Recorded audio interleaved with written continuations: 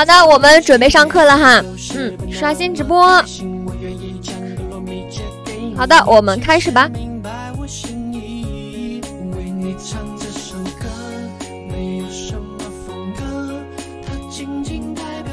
来，Hello Hello，同学们，大家好，欢迎大家来到我们大鹏教育的直播电商带货的课程，我是你们本期的主讲老师莹莹老师。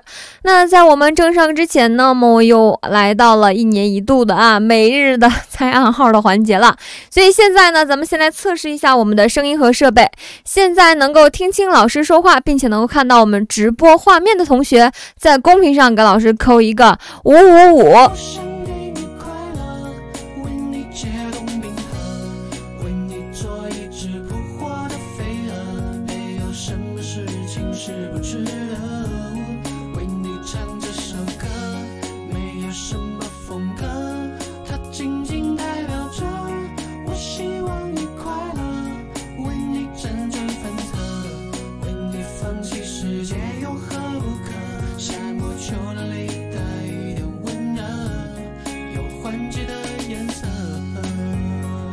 好的，好的，那么老师这边呢就已经看到同学们扣的数字了哈，确保咱们的设备没有问题的话呢，我们就正式的开始我们今天的课程了。那今天呢，我们来到了我们本期课程的第七节课，是吧？时间哈总是这么快呀啊！我们今天呢已经开始要去学习我们的不同赛道了啊，这样的账号呢，我该如何去做直播？也就是不同类目我们该如何去做直播了？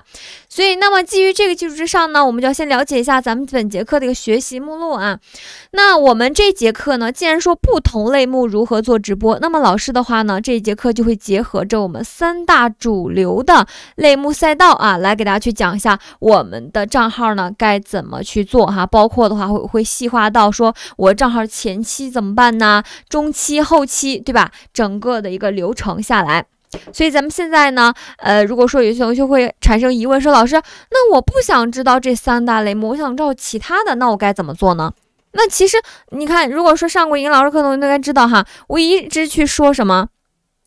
我一直说换汤不换药，对不对？所以说，不管你是什么样的这个赛道哈，它其实的话呢，方法包括流程形式化都是一样的哈，基本上没有什么太大的一个差别。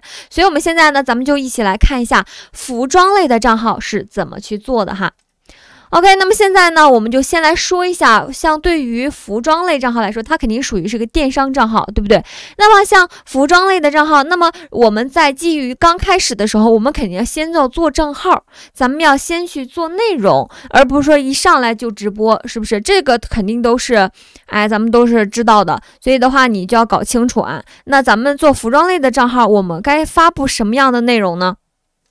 我们要发布什么样的内容呢？咱们先来看一下第一个哈，呃，其实我们一直在说自媒体平台我们要做垂直定位，对不对？你的内容要垂直，官方才能给你匹配到更精准的一个流量。所以咱们先来说一下第一个啊，什么类目的？第一个呢就是所谓的教学类的啊，从内容定位上面来说呢，就是教学类的了。那像教学类种，比如说我们来看一下这里是什么？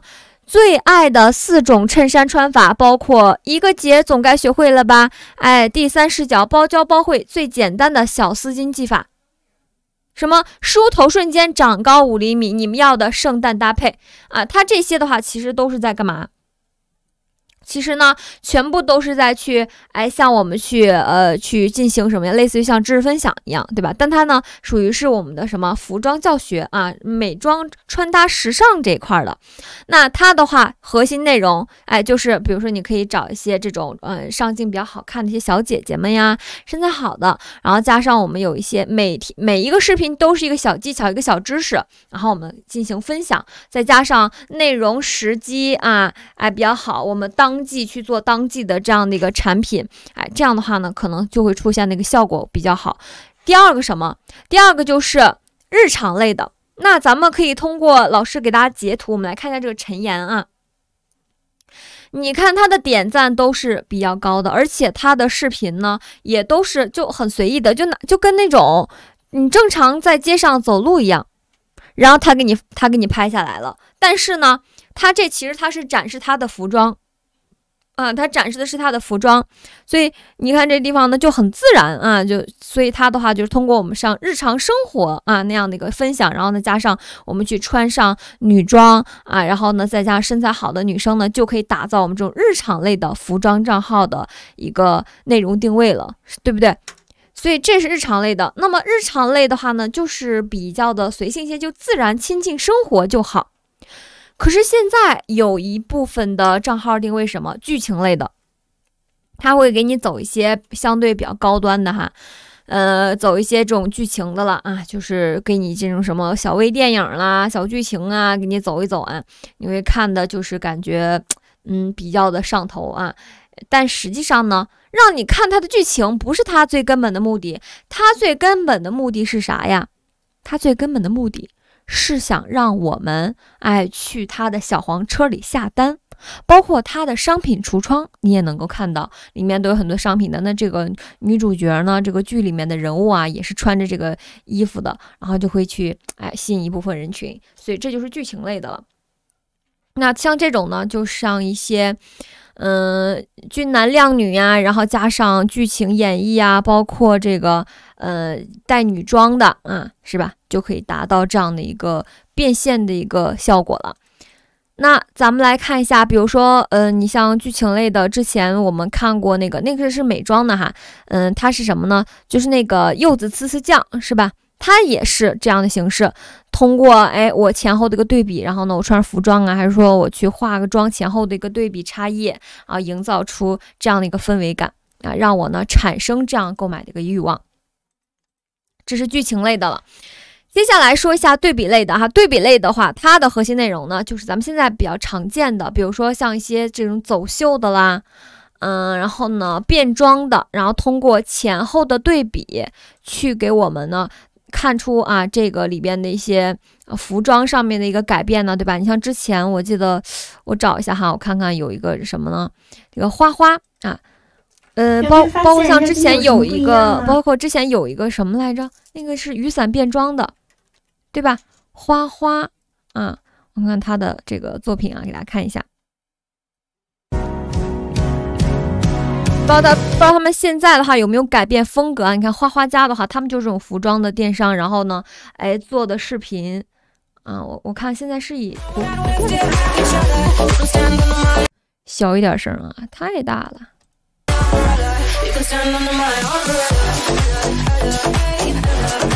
现在是走这个风了啊，之前不是这样的。我们看看他早期的作品，早期不是这样的，这挺难。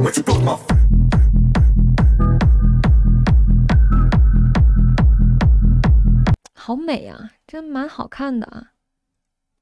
这个超短裙很适合我，是吗？啊，不行，我果断关注了。真的很好看啊，是吧？我很喜欢啊，他们的风格啊，高级。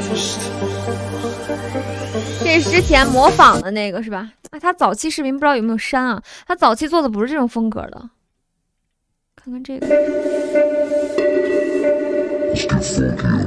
他肯定是转变了他的，转变了他的视频拍摄风格。翻到最早的时候，最早时候，我看看这种是不是啊？找个这个吧，都是照片集了。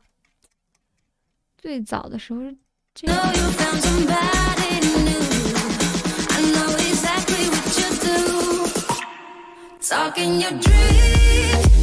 啊，对，这种变装的，但他这个没有之前他做的那个更典型了。你看，就是尝试不同的风格啊，看看这个是不是照片了？都说我们家衣服是靠脸蛋才撑起的这些衣服，那这样呢？是不是？是吧？这个就比较典型了。哎呀，他早期的那个我觉得做的很好啊，估计是可能是后期做的人太多了，所以说呢流量就不好了，然后他们就转变了这个画风了啊，没有，刚刚，把之前的给隐藏了。那之前那个的话呢，就是非常非常典型的哈，啊这种变装技巧类的，很好看，而且的话呢，这个视觉效果我觉得也蛮美的啊，就跟这差不多。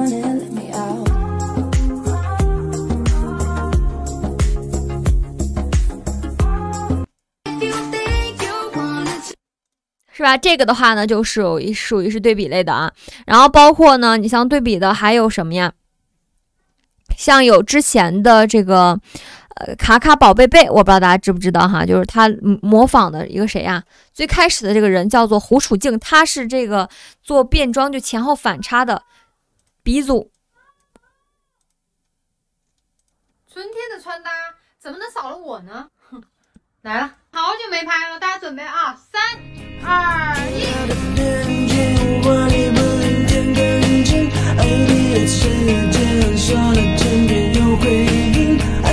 了行了，今天就这样吧。不打扮的时候看不中，打扮完了以后你心动，爱上我，钱包会变空，是吧？前后啊，你就是看到前面感觉很。很那个素人的样子，然后后边的话呢，通过服装的一个搭配呢，哎，马上呢就变成了一个潮人啊，很亮眼的，很惊艳的。那然后还有什么？还有就是刚刚说的卡卡宝贝贝，他就模仿他的啊。咱们来看一下。之前不是教你们跪着拍照吗？你们总是说不会不会，膝盖太痛了。今天教你们个简单的，看好喽。就这样子跪着嘛，然后这腿直就往前伸，然后呢屁股要翘起来一点，这只手往后放会显得更翘。然后记得把自己的美貌挡住。再学不会揍你，对吧？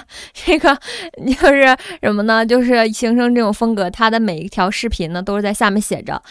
要把记得把美貌遮住，嗯，每一个视频都是这样，就形成了一个统一的调性哈，我就觉得非常的，嗯，有这个记忆点是吧？所以他这也是一样的哈，你就通过前面的这样的一个装扮，然后呢后面变成性感的了啊，呃，大变身。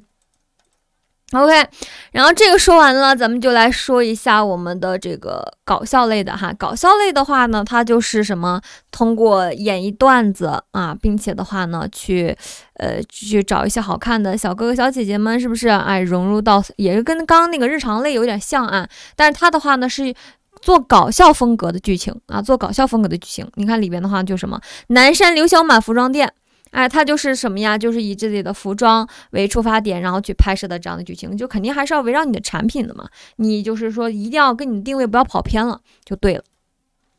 还有下一个街拍类的啊，这个街拍类的呢也是比较多的。那他的话就是一些俊男靓女，然后走路啊、服装啊，对不对？然后呢，通过这样的形式去展示美貌啊。比如说，我们来看一下这个。就是成都啊，这个比较繁华的商业地段，春熙路，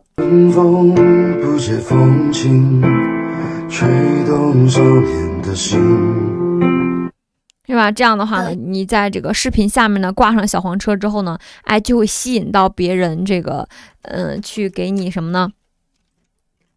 去给你这个问你，哎，小姐姐，这个衣服在哪买？买的很好看，是不是？我想要 get 同款。好，你想 get 同款之后，哎，他就来了，是吧？他就来了。然后我们来看一下，你看像有一些这个，嗯，我来找一下啊，服装对比，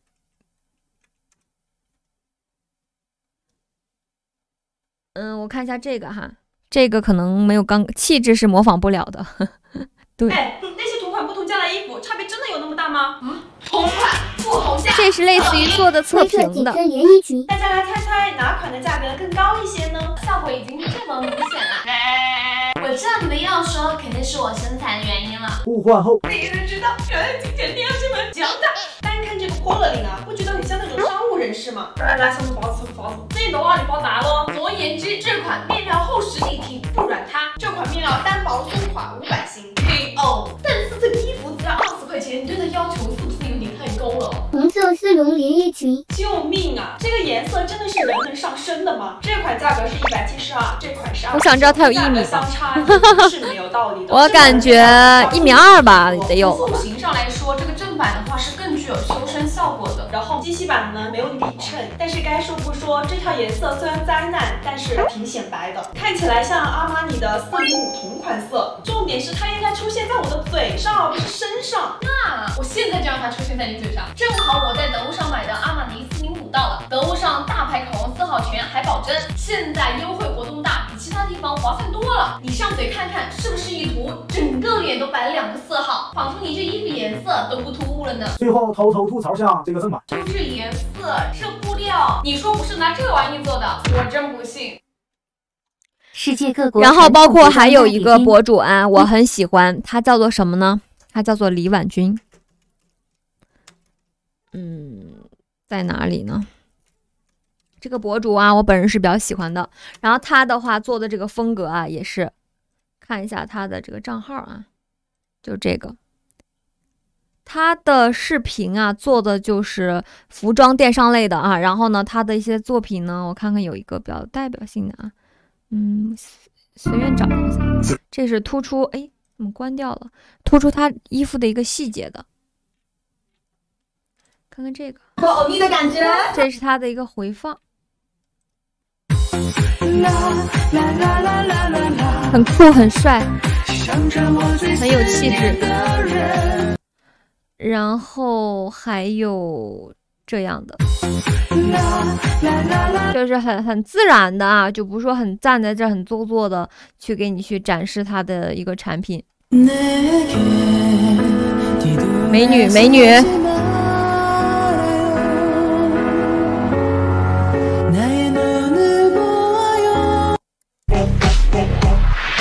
他就什么什么类型、什么风格的哈，他都多少沾一点。开始，头头拍拍，肩肩拍拍，头拍肩拍，头肩拍拍。小风车真会说话嘴狠心不狠，净会挑我爱听的说，那不行，这咱还是得有点自知之明的哈，人家这个比较有气质。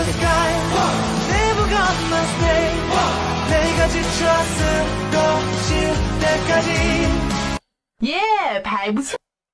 这个就是很御姐了啊，很美妙啊。喂，哥们儿，呀，一西瓜吃嘛？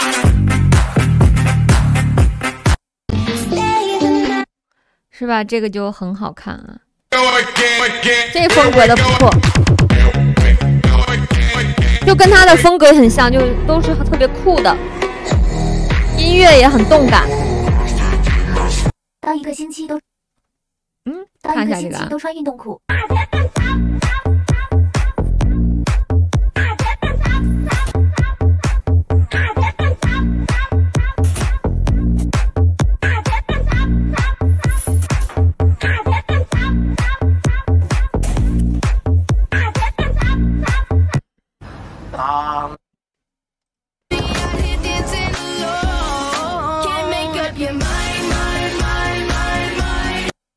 当然后还有这种类型的，这种比较适合。啊，不用看了，不能吧？我觉得这很好啊。然后包括还有一个我很喜欢那个博主叫屁桃啊，我觉得他，我觉得他和这个李婉君他们俩很长得很像。家人们是不是上了幼儿园，孩子就会生病的呀？老皮这上了一对，是他啊。他也是做的这个服装电商的服装类的账号。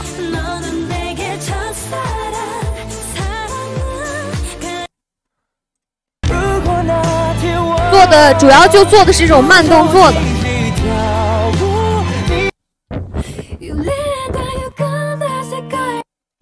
就很帅。寂寞才说爱，为何你要那么坏？当初。哒哒哒哒哒哒哒哒哒哒哒哒哒。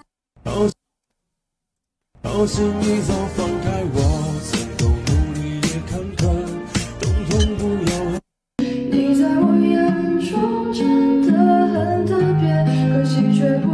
所以你看，像他这种的话，就属于是，哎，我们的一些，比如说呢，主要是突出产品，对不对？然后呢，去进行一个展示，然后还有一些所谓的刚刚我们看到的一些街拍的，对吧？街拍穿搭啊，有一些摄影师就专门做这样的账号，应该就拍路人，然后他也会去挂这个小黄车。最近浏览看看啊，随便找一个用户。太古里街拍穿搭，这有一百多万粉丝。嗯，看，哎，这个，有的时候他会和这个去合作啊，然后呢去挂他的 ins 链接。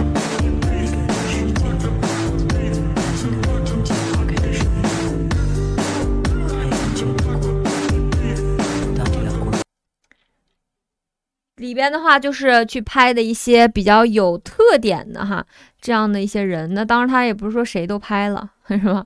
他肯定要找一些比较有特色的，比如说找一些这种美女啊，对不对？有的时候就会去挂一些链接哈，就是增加一波这个流量。所以这种属于是街拍类型的。然后我们来看，所以说呢，你在内容定位好之后，咱们就要进行引流了。那么怎么引流呢？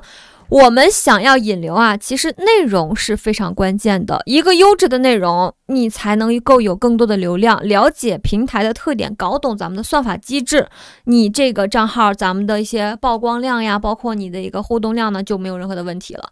所以咱们用户刷到的内容，它是基于算法属性加上实时热度以及用户关系的综合推荐，来去给你流量的。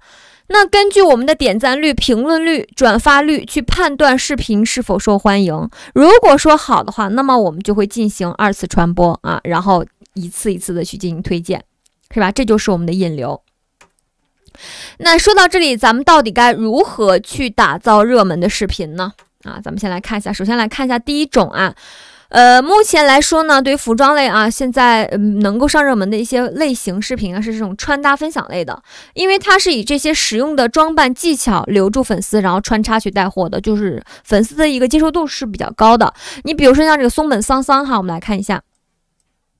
这个扎染裙，由于我们又出了高个子的短款和吊带裙的长款，加在一起这么多个不同版本，很多姐妹不知道怎么选。那今天来说说如何挑选。一六五以下的姐妹就选常规短款，高个子短款版本长了九公分；一六五以上的就选这个版本，长款更适合腿粗微胖的姐妹，更遮肉显瘦。吊带版本单穿就适合瘦妹妹，手臂粗的姐妹可以内叠白衬衫或者外叠件小罩衫。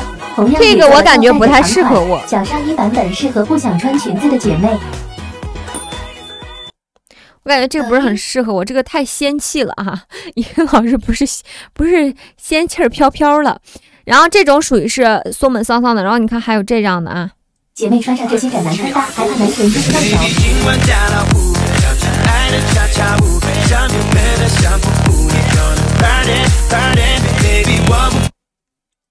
对吧？哎，然后呢，包括还有下一种的拆箱测评类的。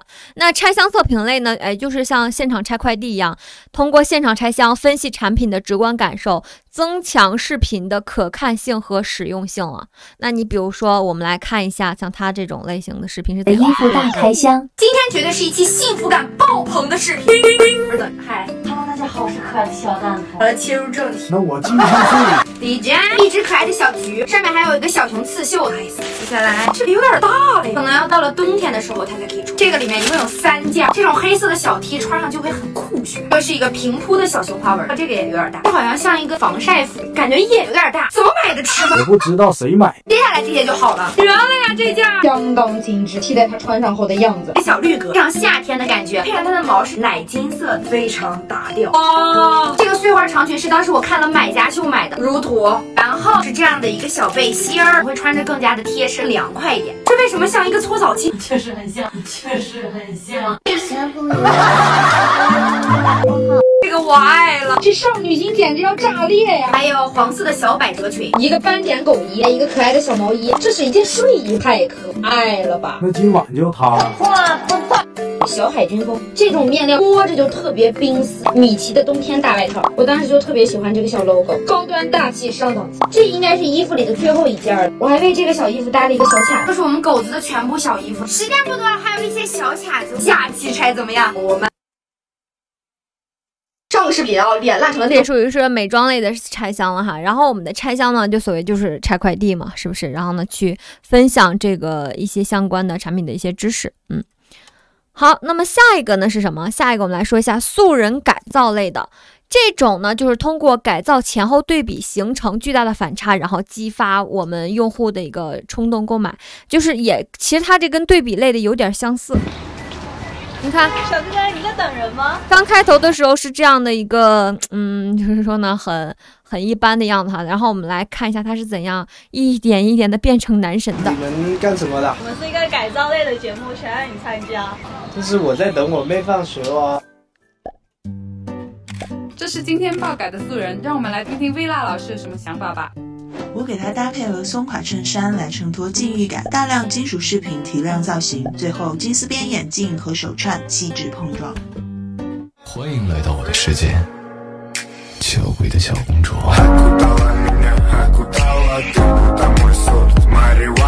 我们最后还有一个挑战，你要不要玩一下？规则是随机找一位路人完成双人合照。你 讲随便找个女生吗？Two thousand years later，我看到那里有个美女，走吧。我有想小姐姐，头发挑小姐姐，不好意思，呃，是这样的，就是我们现在在录一个节目，可能需要你帮忙。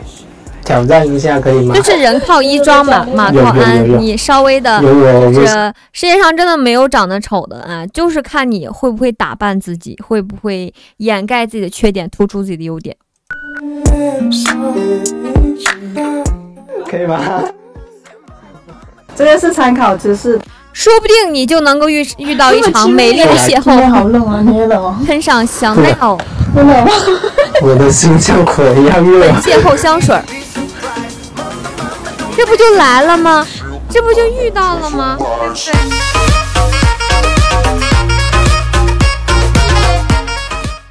好啦，恭喜你们两个完成本次的挑战。讲的话，等一下会打到你上面哦。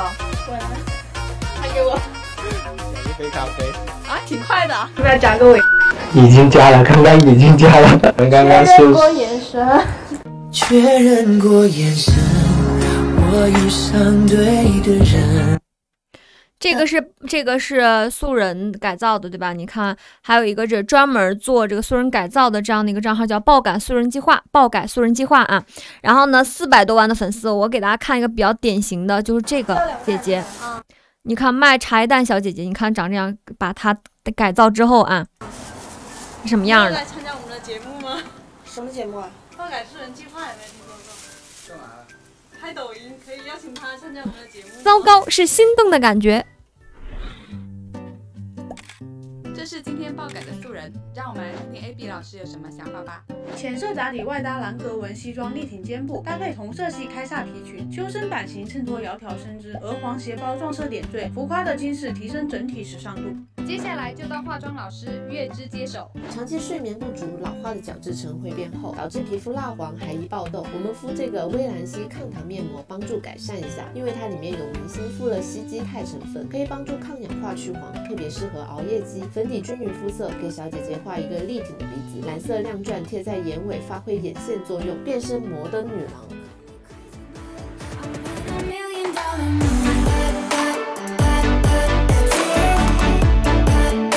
哇，这是一个人吗？你能接受男生化妆吗？啊，男生这个就很绝啊！然后呢，你再看一个，比如说像这个的。我跟他借钱就是为了买礼物给他，跟他表白啊！你借了多少？一千。我我计划的是可以分十年还他，我然后我一年可以还一百，一个月就是还八块四，一天就还两毛七，天天发红包，然后上午发一毛三，下午发一毛四，你这个怎么样？一三一四，这是你自己想的吧？对啊，我算出来的，没是不是很浪漫？有点油，你要不先去洗一下？我带你去。来，你用这个。要摇一摇再洗，用这个它可以帮你深层清洁毛孔，洗完也不会拔干。它这个泡泡很细很细。成为有少年感的奶帅酷盖，最重要是要有好的皮肤状态。现在流行极简护肤，对男生来说，只需要三步就可以打造妈生好皮。深层清洁之后，用这个保水瓶可以缓解换季皮肤的干燥泛红。最后再使用复合管，解决暗沉、缺水等皮肤问题。这种轻盈的乳霜质地很好吸收，也会更轻薄不油。你平时会护肤吗？就擦这种东西。没有。这是资生堂集团新推出的 Light Kick 四克的护肤潮牌三件套，成为白敬亭同款少年感，帅哥密码就在这里啦！试试，连 白敬亭都在用。可我看你们盒子都还在这儿，你们是在打广告吗？不过这个味道确实很好闻，我我很喜欢。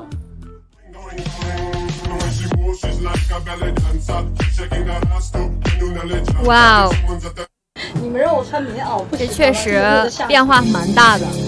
给你尝试穿这个花棉袄，这是被子吧？不是，不是，这是衣服。这不是恶搞吧？这个还不是比较的典型啊。我们来看一个特别特别夸张的哈。嗯，这个怎么感觉跟我的衣服一样？为什么要给我卸妆？我们有化妆老师可以帮你化一个更适合你的妆，可以来试一下。你的意思我这个妆很丑吗？不适合我吗？没有，尝试不同的风格嘛。我可以给你看我们的视频了。其实我皮肤还挺好的，可以啊。保养好？你自己搞的呀？没有啊，店里修的。你这涂的是什么？防晒啊！不要涂防晒，到时候我脸会很油。你有看到过一个公交车司机的左右脸对比图吗？一边脸一直被太阳晒，特别的显老。我给你找图片，你看啊，就是他呀。这么夸张吗？有个纪录片，你回去看一下。看完之后，你就会一年四季都做防晒了。而且我这个防晒不油，你可以先在手上试试。Uni 的防晒霜是水油复配的，用之前一定要摇匀，就会很清爽，有点乳液的感觉，也不油腻。你看这个成膜很快，后面上妆也不会搓泥。要这么多吗？防晒霜要涂得够多才有效，脖子也要涂上，才五十多块钱，夏天涂全身都不心疼。化学里面的反应，你是阳来，我是姜，多出一杯与你再显得公平。你这是抽烟吗？对吧？这个的话呢，爆改素人计划有很多的博主哈，他其实都在做这种形式的，而且他是按照期次、按级啊来给你进行分类的，所以说的话就是比较的。明确啊，然后呢也是便于我们去查找的。然后还有呢，下一个我们来说一下，像这种创业记录类的，它呢就是通过一些个人情感的一个啊表达呀，然后呢去记录，比如说店主的一些创业经历，通过这种视频当中的自我暴露，然后袒露心声，去激发用户的情感共鸣，拉近我们之间的一个距离啊，这就是创业记录类的了。那比如说我们来看一下这个一个冠军的。如果你正好刷到这个视频，请你耐心的看完我的自我介绍。我叫陈文，曾经的全国冠军，现在的创业者，出身平凡，却天生不甘平凡。十二年职业田径运动员的经历，获得全运会冠军，参加过伦敦奥运会、北京世锦赛，放弃就业安置，毅然决然跟小伙伴们一起创业，加入少儿体育教育这个领域。第一次创业，满怀冲劲，投资六十万，做了这家梦想的少儿体能馆。准备去年年初开业，却赶上了疫情，打乱了我们的节奏，带来半年以上的停滞。商场全面封闭，每月房租与员工工资要发，现金流也变得极度不稳定，几乎倾尽所有的创业，面临崩溃的边缘。但运动员的经历告诉我，只要我没有停止呼吸，就要继续跑下去。我要用抖音记录我创业逆袭的过程。面对困境，我们有千万种应对方式，而我们选择不服输、不等待、不放弃。我们开始学习体能课程直播，学习短视频编辑，我们还尝试了网络直播带货。创业这条路还很长，但一切终将过去。突破困局，黎明终将到来。这些都是我们以后一笑而过的谈资。体育人从不服输。抖音，当然，它这种比较全面了，还有这种比较简单的类型，就是回拍。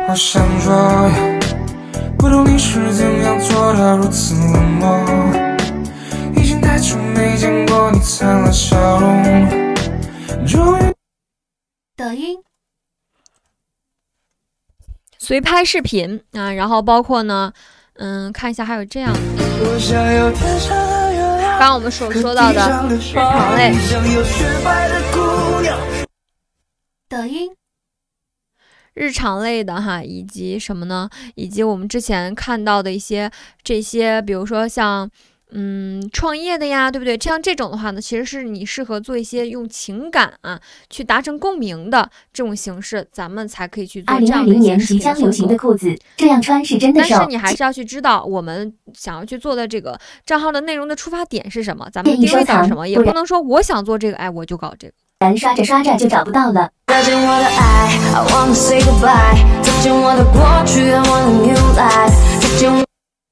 抖音，你看，如果你是做，你像我之前做的就这种的，就垂直电商啊，服装类的，然后我就只拍这种，我也不去搞什么剧情啊，呃，这种小小电影啊这种的哈，我就是垂直电商，就是去围绕我的产品去做变装，然后呢，做一些小小的一些分享啊，就是这种的。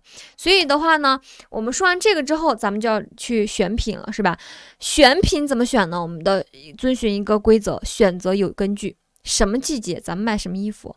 关注热点热词，及时的去调整我们店铺的爆款，啊，及时的去调整咱们店铺的一个爆款，然后你才能够怎么样呢？才能够去大量的这个输出啊，去爆单啊什么的。不然的话，你前期哈，你选了一些东西，结果发现呢，大众他是不能够接受的。哎，那你这时候呢，怎么办？是吧？咱们就是一下子就给这个前功尽弃了。那不管呢，咱们选择要根据我们产品还得有后劲儿。就是你的产品呢，你在选品的时候不能以自己说我想要这个，我喜欢这个我就去带，一定要以受众群体为主，保证受众群体相对广泛，明确客户的一个需求，包括像颜色、尺码、风格呀等等都要确定好。你像有的一些这个服装类的账号，它就是确定的，我们家的风格就是极简风，我们家的风格呢就是这种潮牌。啊，我们家风格就是什么什么样的。那说完这个，咱们的价格你还得有优势哈。综合品牌定位，我们去制定一个相对来说，呃，比较高的一个性价比啊，制定较高的一个性价比，这样的一个产品会更加的有吸引力。那最后就是我们确定好了我们的内容定位了啊，我们的一个选品，包括呢我们的一个展现形式。那咱们就要知道我们服装类直播的一个流程是什么了。正常来讲的话呢，一个服装类型的直播啊，人员的话呢，前期的话我们可能就只需要主播和助理。啊，而后的内容呢，就是你热场啊，等到粉丝进场唠嗑十分钟，或者说呢，简单的去热场啊，聊天啊，去聊一聊什么其他的八卦什么的啊，就是主要是先去稳住粉丝，然后你再去引导他们关注，再去展示商品，去介绍它的材料啊、款式啦、工艺啊这些哈，以及我们呢上链接开卖。啊，上链接开卖，助理呢穿衣展示，催促他下单，重复这个流程，我们不断去过款。那我们不断去过款就 OK 了。那一般咱们每天直播呢，四个小时，一天播两场，过二十到三十个单品就差不多了啊，就差不多了，不用说太多啊，但是你也不能太少了。好了，那么接下来呢，我们服装类说完了，我们来说一下咱们的美妆类账号该怎么做哈。那同样的，我们按照一样的框架，我们先来说一下服美妆类的内容定位都有什么。来说一下第一种美妆测评类的，也是现在来说美妆领域当中比较常见的视频展现形式。它就是通过我的围绕一个产品啊，我去戳用户的痛点，亲自试用产品，说出它的功效和细节，以达到最后种草成功啊，以及提交订单的目的。那比如说我们通个简单的视频来了解一下，什么样的视频展现形式是美妆测评呢？比如说这个人啊，终于来啦！如果你还没有买到好用并且合适的美白精华，一定要看这一期啊！我做了好多功课，没有任何广子，看这功课做的。好累呀！按照它们的功效，我分成了两大类。第一类是淡斑淡痘印，第二类是均匀肤色和提亮，所以你们自己对号入座，我就不管那么多了，好吗？第一支修丽可的发光瓶，这个我真的安利过 N 多回了，它淡色斑跟痘印的效果确实是肉眼可见。淡黄色的水油质地。我看了大家的评论，就干皮非常喜欢它的肤感，它是属于多维度的淡斑产品，里面有曲酸、传明酸、烟酰胺跟黄酸，从我们的肌肤不同层次来解决黑色素的问题。每次三到五滴就可以，不要太多，不然会很黏。开封以后尽快用完，不要超过两个月。你们两个不要打架了好吗？你上去，你也上去，不准打架，不要发出声音。好，乖乖的。算了，你们还下去吧，要不然，他们不会认真听的。下去，下去。带着妹妹去玩去，快快快！建议大家晚上使用。第二支就是倩碧的三零二镭射瓶，我这次六幺八真的囤了好多，我个人是很喜欢它的肤感，而且早晚都可以用，就比较适合懒人。它是白色乳液质地，流动性比较强，推开以后很好吸收，也没有那个黏腻感。最大的特点就是美白链条非常的完整，从抑制黑色素生成到转移到剥落，每一个环节都照顾到。如果你不知道你的问题出在哪里，然后也不知道该买什么，就可以选它，不挑皮，早晚都可用。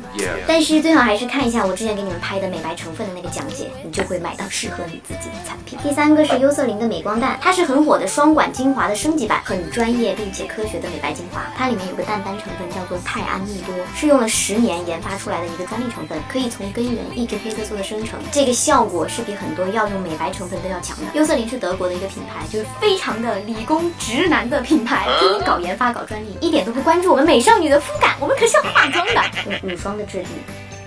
容易搓泥，用量跟涂抹手法非常重要，建议大家顺着一个方向涂，或者是在手中搓了按压在脸上，不要来回反复搓，会搓出泥。但是效果确实是在线，而且味道很好闻，香香的，这个一点不直男哦。里面没有含感光成分，所以大家早晚都可以用。但是早上要化妆的还是不要用。对，还有一点，它很不容易反黑，所以快去升级一下肤感吧，拜托了，造福一下我们，拜托了。价格也还挺合理的。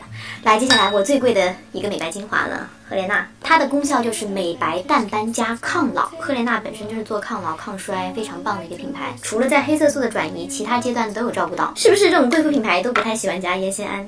好像是嘞，它从质地就开始体现出很贵妇。你看，推开以后会有一些微闪，里面是加了一些云母的成分，当然这个没有什么用，就是看起来很漂亮，一个性感。脸和脖子都有色差了，肤感非常好，特别润，不含酒精，也没有致敏性防腐剂，所以敏感肌是可以入的。它里面的抗老成分是欧莱雅集团的玻色因，如果你要美白淡斑，又要抗老，然后预算够的话，是完全可以入它，更适合干皮、大油皮、绕道。记住哈，这四个淡斑、淡痘印的效果是很棒很棒的。好，我要讲第二趴了，提亮和均匀肤色部分，这三支肤色暗沉的一定要关注一下这三支，我一个一个讲，到底是上来还是下去？你们在这很影响我的视线，我总想从镜头里面看你们。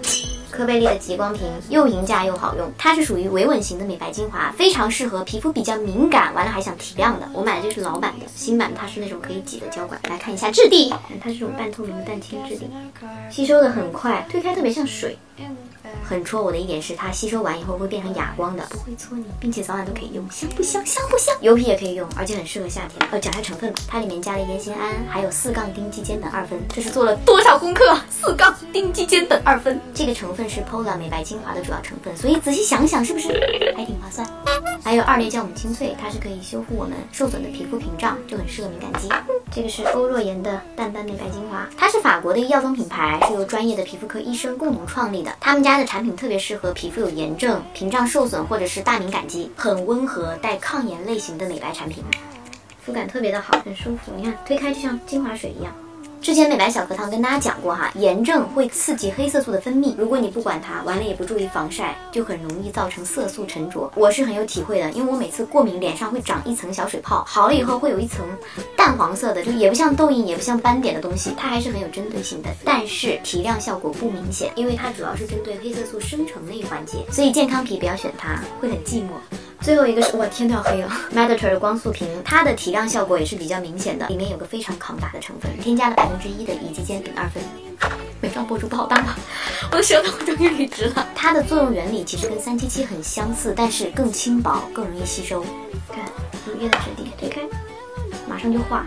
也像精华水一样，哎，我是不是应该给你们做个标签，就是适合上妆前使用？成分党肯定知道金坤的作用非常王炸，很高效，但是副作用太大了。有实验数据表明，百分之零点五的乙基间苯二酚，连续使用八周就可以达到百分之二清坤相当的作用。所以这瓶香的点就在于低刺激性、高美白效果，早晚都可以用，也不挑皮。还有一点必须跟大家说，就是我们的肌肤代谢周期是二十八天，美白精华一般都是四周或者是八周见效，这是一个非常正常的周期范围。因为这些精华我确实做了很多功课，给大家精心挑选，所以不管你们选择哪一款，希望大家可以坚持使用，绝对不可能用几天就看到非常明显的效果。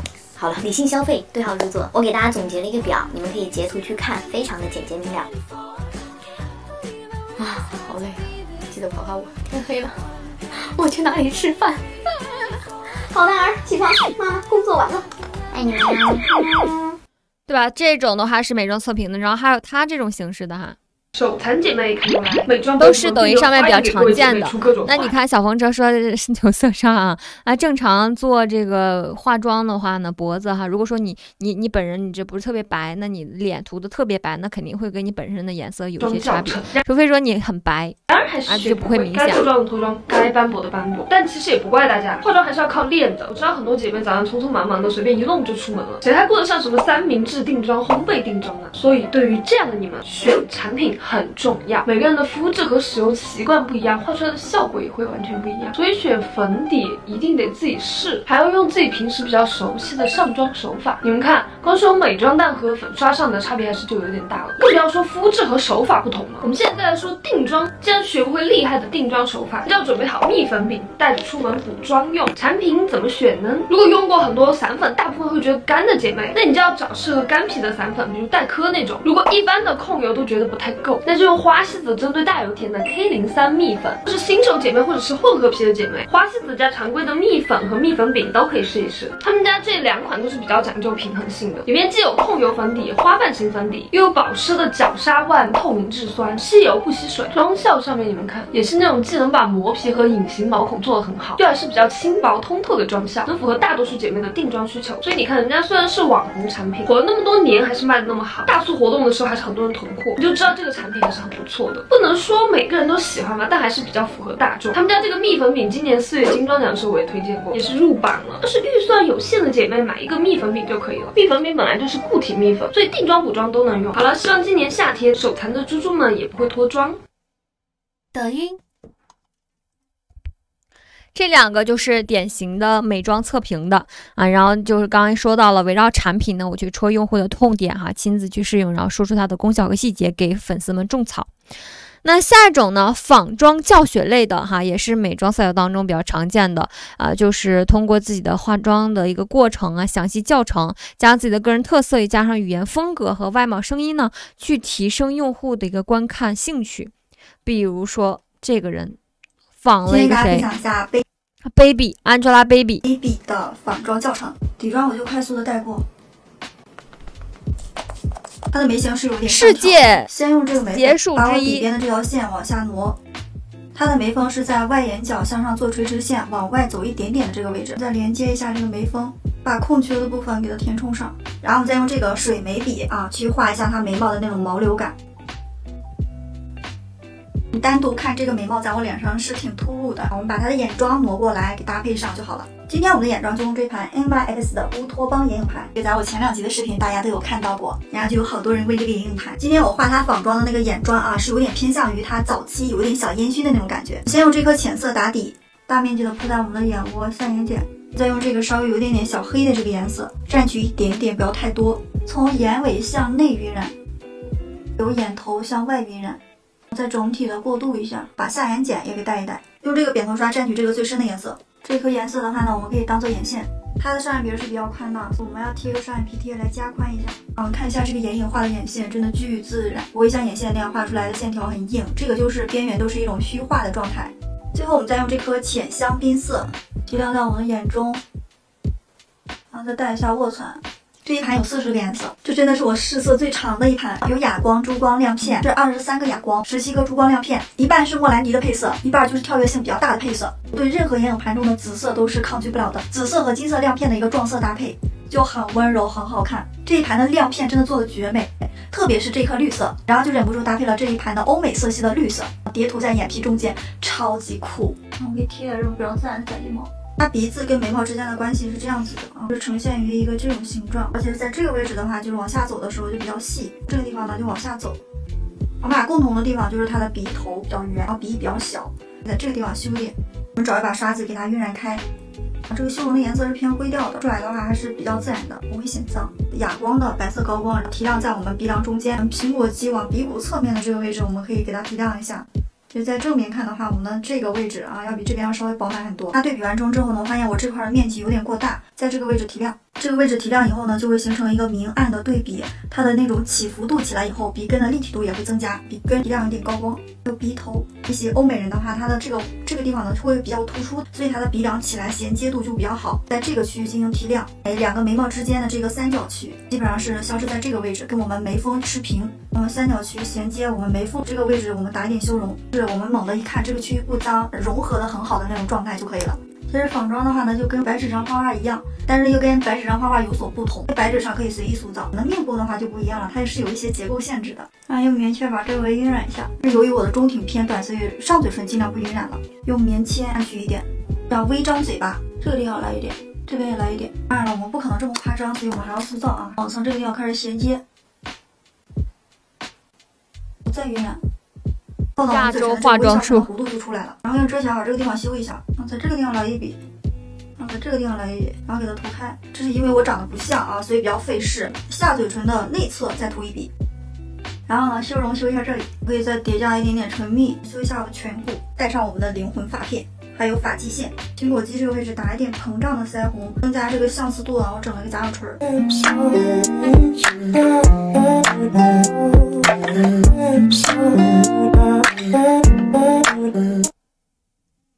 抖音。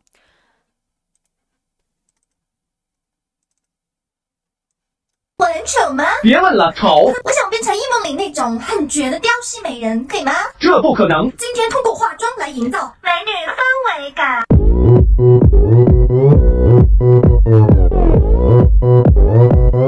我扮 Gangnam Style。Gangnam Style。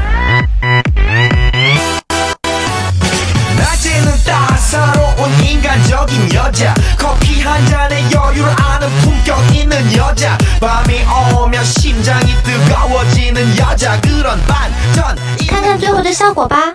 俺のところで鍛えてあげよう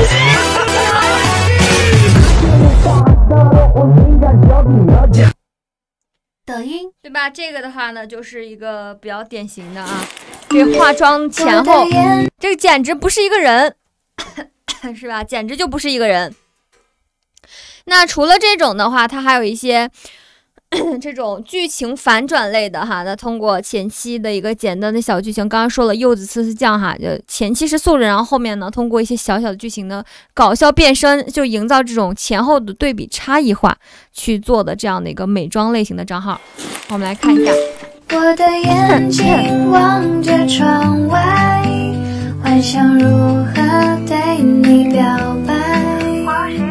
心事写满脸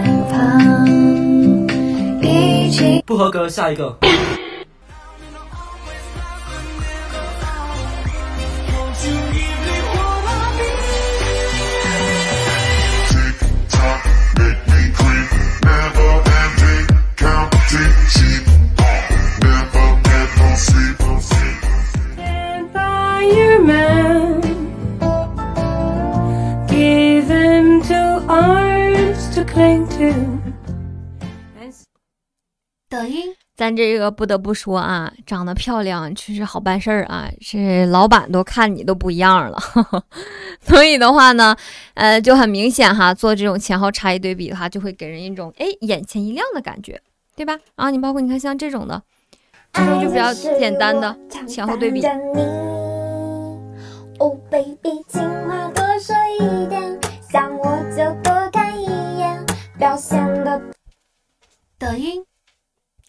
营造前后对比，哎呦呦呦，这个怎么给出来了？所以，我们呢想要去引流，我们要去拍摄优质的美妆视频，对不对？那优质的视频不不断的去这个发布优质的视频，我们才能够去涨粉儿。所以的话，那么现在我们简单来看一个这个小数据啊，我们可以看到这个人呢，三个月的时间，一百万粉丝涨到了一千万粉丝，你看到了吗？粉丝总数一千多万，九十天涨了九百多万，三十天涨一百多万，七天呢涨了四十九点九万。哎，说明什么问题啊？哎，他这个涨粉可以说是非常的快的，很迅猛。所以呢，这个人到底是谁呢？同学们，我们带着这样的好奇心，我们一起来看看他到底是谁啊？哎，就是美妆界的黑马，中国版的千颂伊黄三金。她呢是一个比较年轻的一个小姑娘哈。那她呢就是在抖音、快手、微博、小红书，哎，全平台覆盖的账号。然后她都叫黄三金，对吧？她就是一个嗯做的一个美美妆类的这样的一个剧情的一个达人啊。我们先通过一个她的一条视频来了解一下她。你长得这么丑，这个是啊，分手吧。你泼他啊！丑八怪，这个人我来念。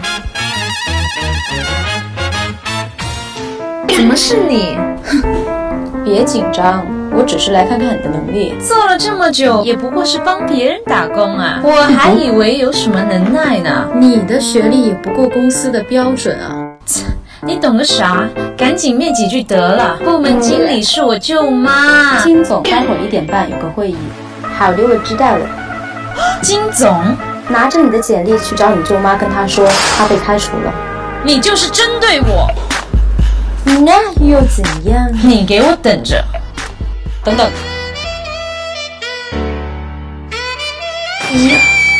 爽。哎，他的发现他的结尾了吗？爽啊！他的每一个作品后边的话呢，全部都有这样的一个点缀啊，就很统一。等一下给大家看，你看都有什么？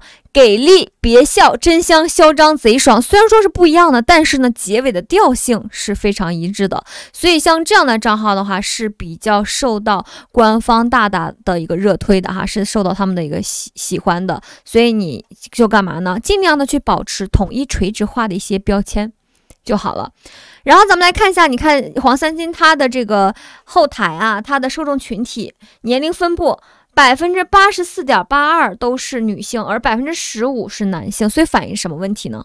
他这个账号呢，它可以变现，怎么变现呢？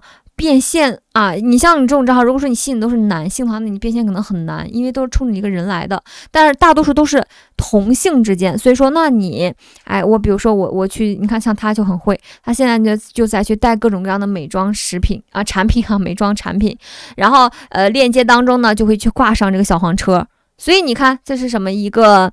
这是什么呀？一个清粉底液，呃，对吧？包括一个这个什么霜、唇膜，通过我剧情的演绎，然后呢穿插入广告产品，去进行实现什么视频带货，没有任何的偶像包袱，而且非常的亲切。整个的这小姑娘啊，黄三金呢，表情呀全都是戏，眼神也全都是戏，就是她整个的语气语调的话是比较容易让人记忆深刻的。你看，看后面那个什么爽啊，那又怎样？然后后面的给力啊，然后包括还有一些什么爽啊、贼贼酷啊等等的，像这样的一些呃点缀词，就是形成了统一的结尾，让它看起来的话呢，更加的哎，这个垂直标签打的会更加的精准一些，也让官方能够一下子看到你的这个账号内容那个风格是什么。所以的话，哎。这就是我们所说到的三个月啊，可以涨粉这么多的这样的一个博主黄三金啊。我们感兴趣同学呢，回去可以查看一下他哈。好了，那么接下来呢，我们就来看一下我们的美食类账号了哈。当当当了啊，咱们现在就要进入到关键的时刻了哈。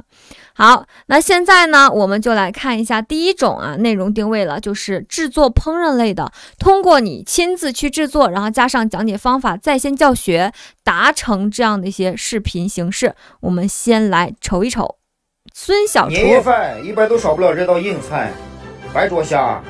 看似简单，其实呢，想把这道菜做好了也不容易。锅里面烧水，加入大号葱姜。煮虾的时候不能等水开再下锅，看到没有？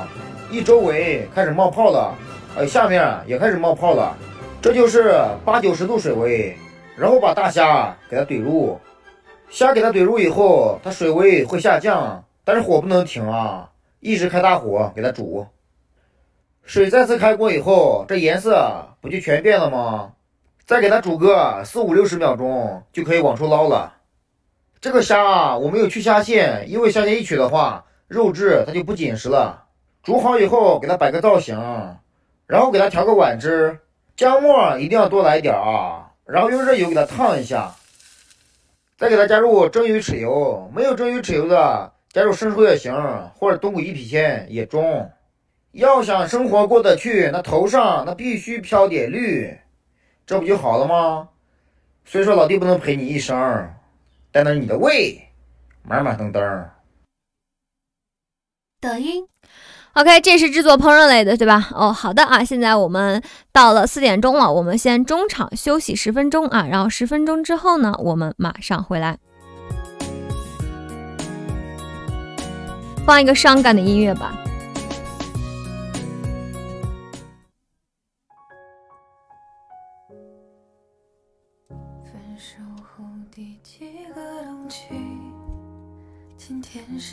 尹老师补补水啊。偶尔会想起你，你突如其来的简讯让我措手不及，愣住站在原地。当所有人都替你开心，我却在傻傻前行。原来早已有人为你定做了嫁衣。感谢你特别邀请来见证你的爱情，我时刻提醒自己别逃避。拿着喜帖一步一步走进他精心布置的场地，可惜这是属于你的风景，而我只是嘉宾。我放下所有回忆来成全你的爱情，却始终不愿相信这是命。好久不见的你，有眼疏离，我手汗是如此客气，何必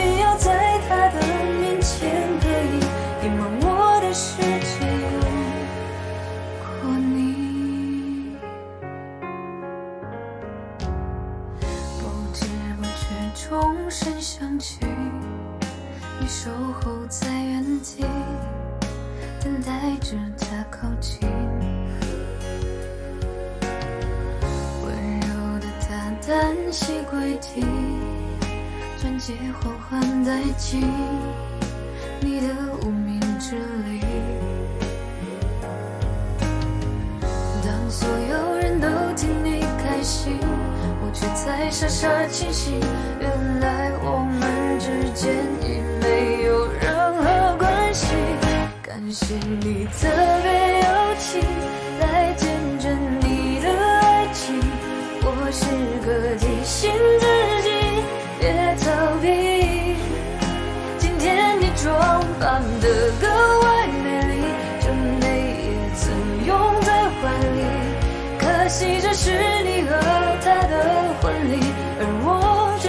只是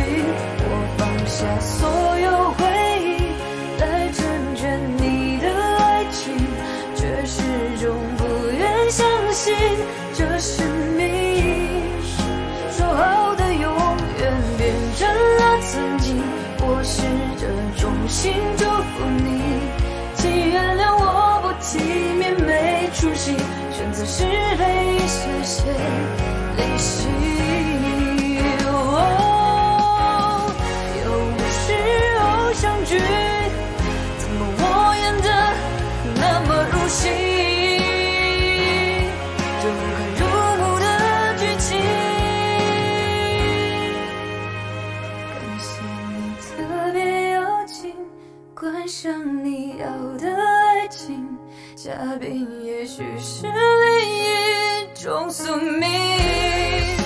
离开你的自己，事到如今还有什么资格关心？已经终成眷属的人是你，而我只是嘉宾。我流尽所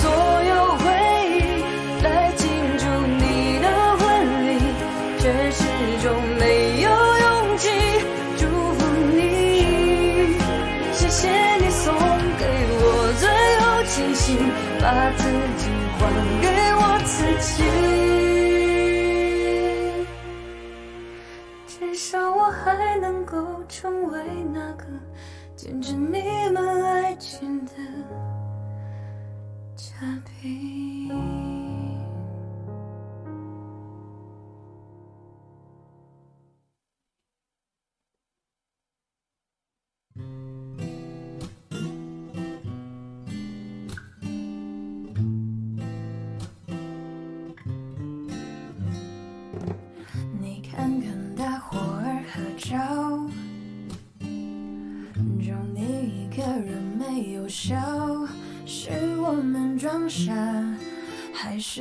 真的有很多普通人没有的困扰？我才懒得给你解药。反正你爱来这一套，为爱情折腰，难道不是你一直以来戒不掉的癖好？你在想谁？想到睡不着，你应该觉得骄傲。很多人想失恋也没有目标，只是想睡个好觉。别炫耀，别说你还好，没什么不好，你就怨日子枯燥啊。没什么烦恼，恐怕就想到什么深层意义，想到没完没了。你给我听好，想哭就要笑。其实你知道，烦恼会解决烦恼，新的刚来到，旧的就忘掉。渺小的控诉就是你想要的生活情调。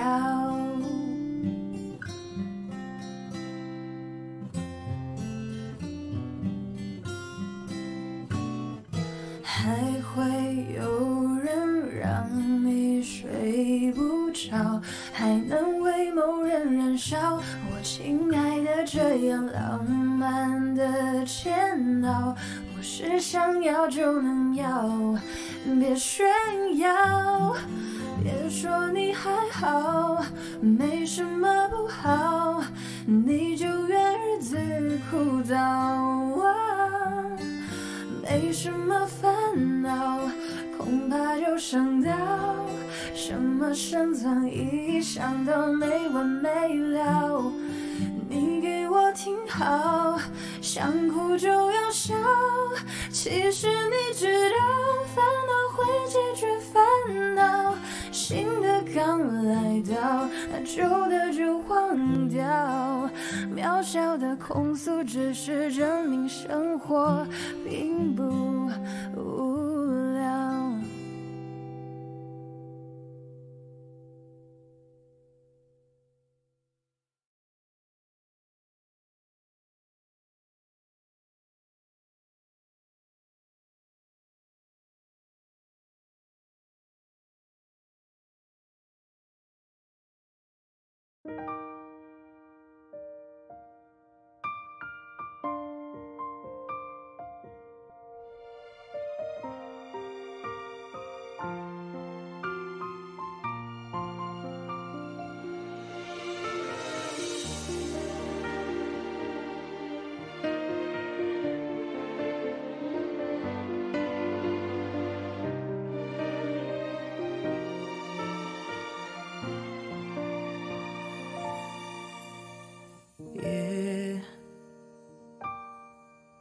再黑我都不会疲倦，看这两张照片，记忆的碎片，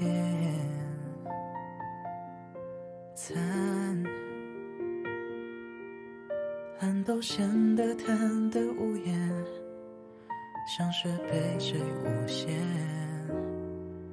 却又不能咖啡、汽水比喝酒都还麻醉，就算彻夜不眠，我也甘愿。爱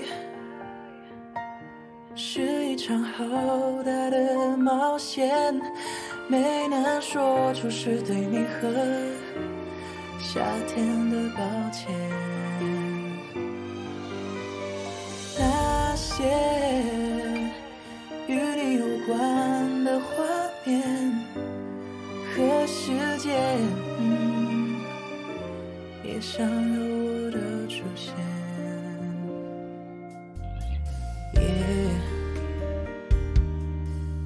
在黑我的。好的，我们现在回来，看这两张照片，记忆的碎片。来，我们现在准备开始吧。然后呢，我们现在呢，咱们把这个字关掉啊，不能忘记了。好的，那刚才呢，我们看了这个制作烹饪类的，是吧？然后接下来的话呢，我们就可以知道，哎，你看他的孙小厨每个作品，他都是通过自己的一个烹饪过程啊，然后呢，加上自己的一个简单的小教程，是不是？然后在线教学啊，每天一个生活家常菜啊，就会给一些哎有需求的一些用户给予他们一定的帮助。那么再下一个呢，就是探店分享类的了。探店分享类就是通过我的美食打卡，我到店。Hello，宝宝们，今天呢跟我一起来打卡北京鼓楼的这个什么圣贤堂啊，是吧？里面的这个北京烤鸭怎么样啊？对吧？我们一起跟随镜头来瞅一瞅吧，是不是啊？就会有这样的一些镜头呢，包括呢通过一些美尝品尝啊，然后呢进去试吃，把自己的一些真实体验给说出来。所以我们来简单的看一下这个探店的啊。大家全都是来拍照的，就这种自拍都是可以的。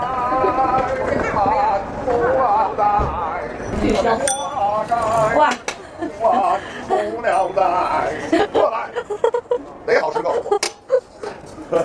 天津狗不理包子真有那么难吃吗？今天我们就来尝尝天津人都不吃的狗不理包子到底怎么样。Hello，大家好，我是毛豆，一个不是在吃就是在吃的路上的女子。都说啊，国庆假期来天津旅游不吃狗不理包子，你就等于没来。为什么呢？因为啊，十八街麻花、狗不理包子还有耳朵眼炸糕，他们仨并称为天津美食三绝呢。而且啊狗不理包子因为它独特的韵味，还有它的外观，就称为三绝之首，享誉四海。但是我朋友都说狗不理包子倍儿难吃，而且呢。天津人都不吃，所以啊，我就勾起了我的好奇心，我就想看一看狗不理包子跟我平时吃到的包子到底有什么区别呢？我现在在山东路，我们现在去狗不理的总店去看一下，就是这儿了。抖音是啊，确实不好吃，是吗？嗯，所以的话呢，像它这种就是比较典型的哈。然后我看哈，像这种探店的有很多，你像我正常我在同城啊，我总能看见。什么北京探店呢？有北京这边做探店美食的哈，这个很多。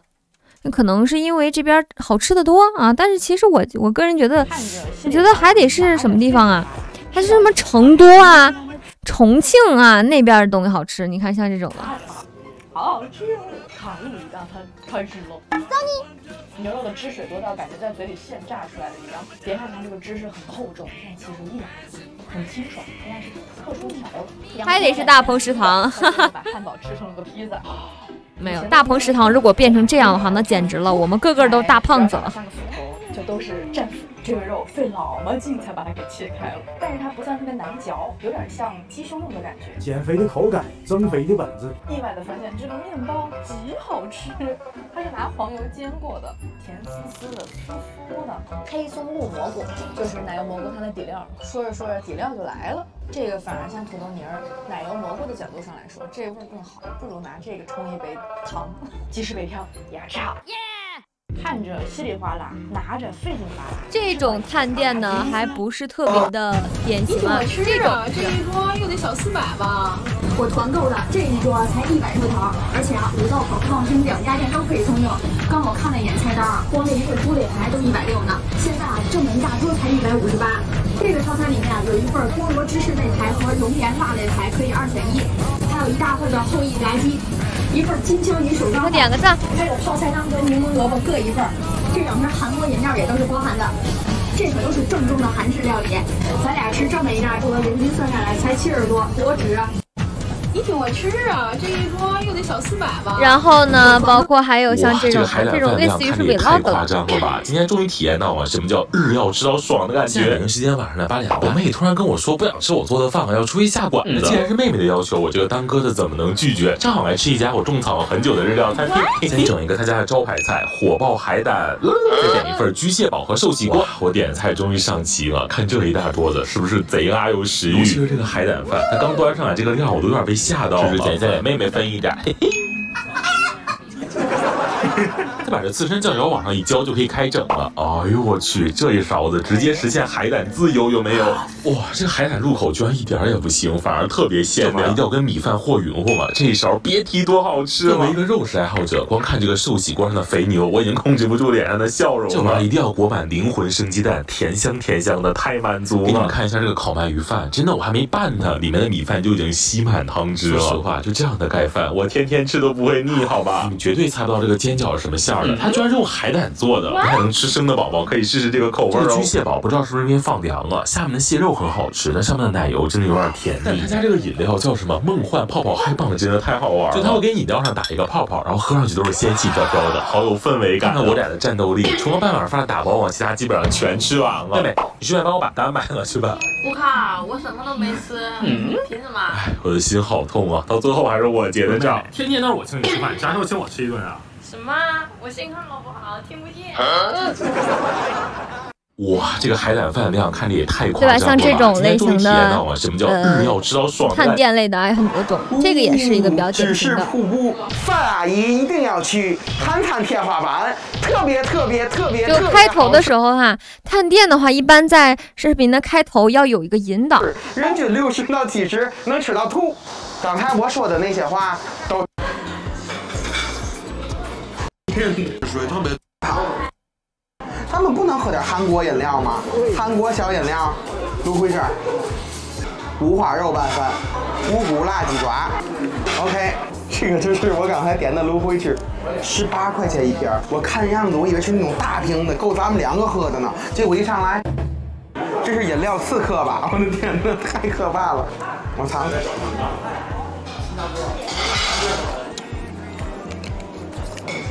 好，这个的话我们就看到这里啊，所以它这种就属于是一个比较典型的探店分享类的。然后下一个呢是日常分享类的了，日常分享类就是通过记录生活，哎，我去给你什么一镜到底直拍哈，去进行试吃，给你去推荐一些相应的一些商品，比如说这个，这是煤气瓶变圆了。吃一个奶油煮的面，录半天都没录上。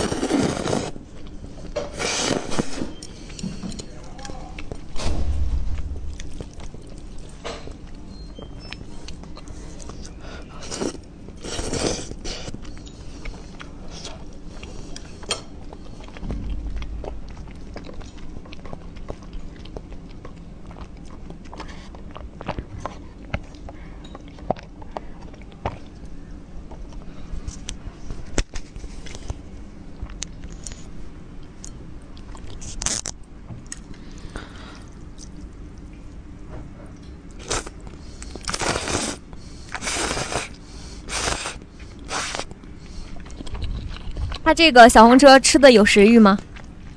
哎，光听这种声音就声控啊，会会有有产生一点感觉，食欲一下上来了。这个没什么，他把这个麦夹在肉上了哈，这个倒是没啥的。但是你要是看这种的，它可是会比那个更加的刺激，看它不下饭。这个怎么脸有点黄？这个是小吴同学给我煮的年火鸡面。这个是用空气炸锅炸的肠，空气炸锅和肠我小店都卖啊。今天吃火鸡面，还加了两根大烤肠。今天调的这个色儿咋样，姐妹们行不行？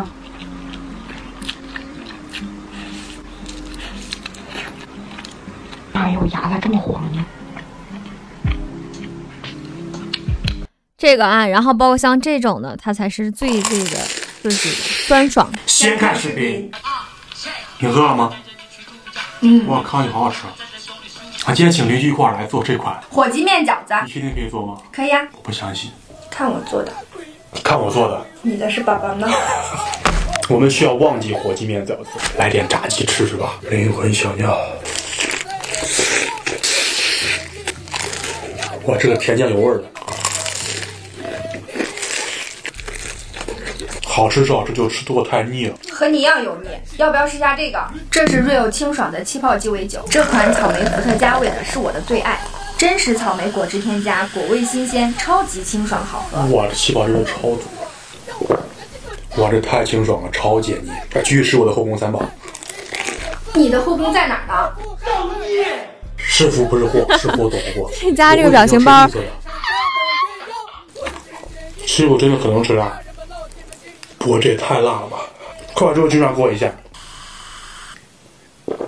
气泡感真是太强了，这个感觉就一点点微醺了，真的热菌上比平常饮料更带劲一些，千万不能浪费食物啊！哦。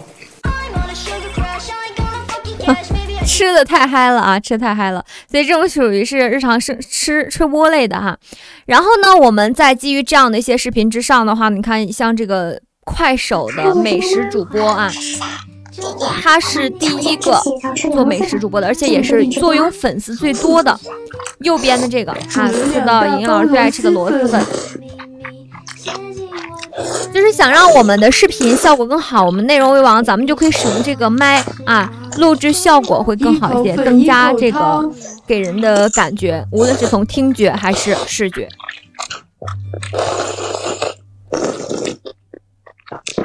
就听到这种踢的秃噜的声音，就有一点点的不行了，我饿了，我饿了。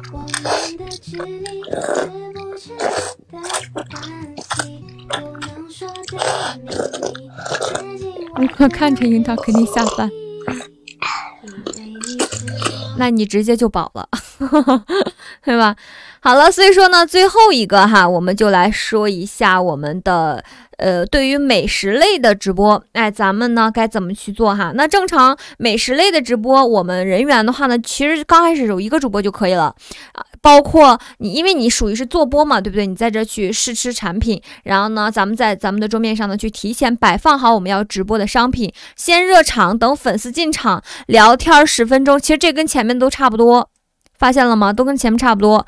聊天进场，咱们十分钟啊，然后呢，十分钟之后，一位主播开始吃东西，另一位主播呢就开始去介绍口感和味道啊，去简单的去表述一下。接着上链接开卖了，三二一上链接，五到七分钟去抢购咱们的优惠商品，去进行促单。然后我们美食类的话呢，就不用去过很多单品了。一般咱们每天直播吃播三个小时，一天播两次，过十到十五个单品就 OK 了。因为美食嘛，你要不断去试吃，所以这个不可能说播一天，你要吃你吃十二个小时，那这个对身体来说不是很好啊。所以的话，我们正常来讲的话呢，咱们就。十五个产品咱们就够了，用不着那么多啊，用不着那么多，不然的话咱们也吃不消，对吧？所以整体的话呢，我们其实就是为去出单的。所以你相比较于美食类的账号，它的销售额可能就会没有这些其他的赛道的要多哈，因为它客单价嘛，像美食类的客单价相对来说都是比较低的。所以这个的话呢，在你去选择赛道的时候，哈，选择你变现的这个时候，一定要去想好了啊，我们到底究竟是适合哪个？你想要最终实现的目的是什么呢？是想要涨粉儿啊，还是想要去这个赚取一定的这个米儿啊？对不对？好，所以这个的话呢，就是我们美食类的啊账号，咱们整体的前期的视频呀，包括我们的这个。直播啊，咱们的一些相关的流程。那么，所以说呢，以上呢，同学们就是我们本节课的全部内容了。那咱们现在呢，简单来回顾一下哈，咱们这节课主要就结合了我们的三大不同类目的账号呢，给大家进行讲解。从我们的内容定位上面，然后从我们的一些引流，从我们拍摄视频上面，以及我们最后的直播流程上面，给大家进行了梳理，分别是服装类和美妆类以及美食类的三大主流赛道。其他的赛道都是换汤不换药的，都是基本上没有什么太大的差别啊，以及你前期的一个人设风格哈，它的一个打造给大家进行了一一的讲解。所以今天这节课到这里，我们就要和大家说再见了哈，同学们，然后咱们就可以下课啦。嗯，又结束了，又结束了。嗯，好的，同学们，那么如果说大家没有问题的话呢，我们就可以退出直播间了。我们。周末愉快，我们下周一不见不散，好吧？我一来就结束了，你来太晚了，赞神同学，咱们的课程是两点五十开始的啊，来太晚了。你这是马上课程收尾了，下次早点来哈。好的，同学们，那拜拜啦，我们周一再见，拜拜。小风车，拜拜，赞神，拜拜。